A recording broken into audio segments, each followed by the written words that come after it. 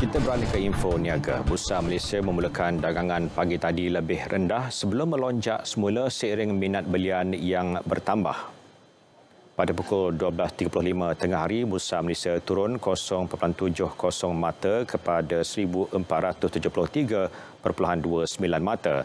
Antara saham aktif Hong Seng kekal tidak berubah pada 3.5 sen, ASB meningkat setengah sen kepada 17.5 sen dan Saipak bertambah 2.5 sen kepada 54.5 sen.